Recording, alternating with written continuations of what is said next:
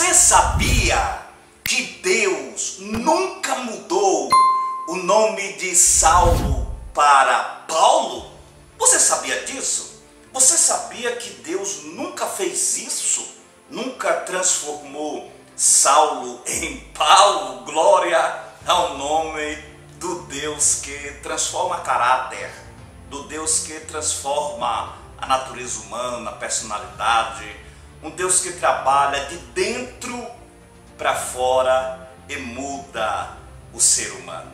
O interessante é que este homem, por nome Saulo, ele nasceu em uma província é, romana chamada Tarso. Se você pegar a sua Bíblia aí, eu estou com a minha aqui, no livro é, de Atos dos Apóstolos, capítulo de número 22, e você lê o versículo 3, você vai encontrar um versículo muito interessante. Vamos ler? Olha aí Atos 22, 3, diz assim, ó. Quanto a mim, sou varão judeu, nascido em Tarso da Cilícia, mas criado nessa cidade, aos pés de Gamaliel, instruído conforme a verdade da lei, nossos, da verdade da lei de nossos pais, zeloso para com Deus, como todos vós hoje sois. E o interessante é que ele nasceu nessa província romana. E a Bíblia nos mostra esse mesmo cidadão por nome Saulo como um hebreu, filho de um pai hebreu e filho de uma mãe hebreia. Não é interessante isso? Nasceu em uma província romana, mas era um hebreu, filho de uma hebreia, filho de um hebreu. E o interessante é que a Bíblia faz questão de deixar notório que ele, Saulo, era da tribo de Benjamim. Vamos para a Bíblia? Abra sua Bíblia aí em Filipenses, vamos ler Filipenses. Eu quero que você abra em Filipenses, capítulo de número 3. Vamos ler Filipenses 3, o 5, para você ver o que diz. Olha o que diz o 5 aqui. Filipenses capítulo 3, versículo 5 diz assim: Circuncidado ao oitavo dia, da linhagem de Israel, da tribo de Benjamim, hebreu de Hebreus, segundo a lei, fui fariseu.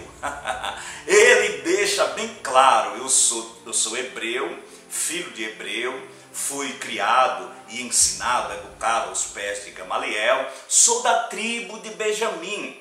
Na verdade, este homem por nome Saulo ele tinha dupla cidadania. Ele era hebreu de nascença, de sangue, e ele também tinha a cidadania romana. Ele era sim considerado, respeitado, recebido como um romano. Vamos ler Atos capítulo 22, volta para o capítulo 22 novamente e nós vamos ler alguns versículos aqui. Leia o versículo 25 e vamos ler até o 28 e olha o que diz a palavra de Deus. Diz assim, o 25, Atos 22, 25. Quando e quando o estavam atando com correias, disse Paulo ao centurião que ali estava, é vos lícito açoitar um romano, ou seja, vocês vão me, me, me chicotear, eu sou romano, é correto isso segundo a lei? Sem ser condenado? Eu não fui condenado e vocês vão me açoitar? Olha, eu sou romano. Olha o que diz o 26. E ouvindo isto, o centurião foi e anunciou ao tribuno, dizendo: Veja o que vocês vão fazer, porque este homem é romano. Versículo 26 do capítulo 22 de Atos. Olha o 27, diz assim: Vindo, pois, o tribuno disse: Dize-me, és tu romano? Aí Paulo responde: Sim, sou romano. Olha o 28. Respondeu o tribuno: Eu, com grande dinheiro, eu paguei e alcancei esse direito de cidadão romano. E Paulo disse assim: Eu sou romano de nascimento, porque eu nasci em Tarso. eu nasci na província romana. Veja que interessante o próprio Paulo explica que ele é, sim, romano, ele tem a cidadania, ele é, é romano de nascença, mas ele tem sangue hebreu, filho de, de mãe e pai hebreus. E o interessante é que quando você lê Hebreus, é Atos, capítulo de número 13, vamos ver o que diz Atos 13. Olha o que diz aqui Atos 13, o versículo de número 2, diz assim a palavra de Deus. Atos 13, 2. Servindo eles ao Senhor e jejuando, disse o Espírito Santo: Apartai-me a Barnabé e a Saulo, Saulo, Saulo, para a obra que eu os tenho chamado.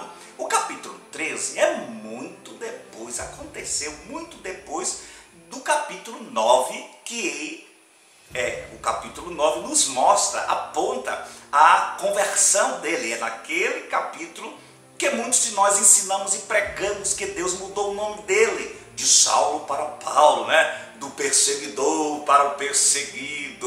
Né? E de repente no capítulo 13, versículo 2, continua chamando ele de Saulo, mas Deus não mudou o nome dele, por que, que ele ainda é Saulo? Na verdade, queridos, se você ler o versículo 9, você vai ver que a palavra de Deus ela explica a própria palavra. Vamos ler o 9? Olha o que diz o 9 aqui.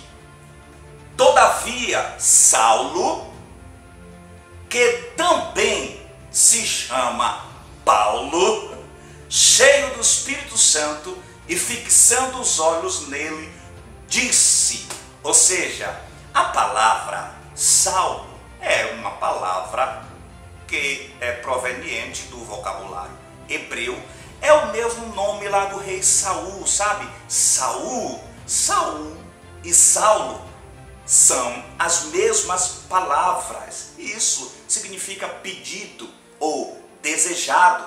A palavra Paulo é uma palavra que vem do latim, é, é do latim, que significa pequeno, é, apontava para a estatura, para o tamanho apóstolo Paulo ou do apóstolo Saulo. Eu quero encerrar esse vídeo te fazendo uma pergunta.